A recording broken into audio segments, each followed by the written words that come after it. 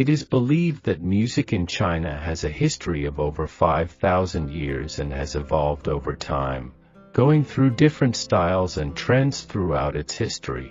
According to Chinese mythology, the legendary invention of music and singing is attributed to Xenifu. It is said that he managed to create bamboo reeds in such a way that they produce sounds similar to the songs of birds.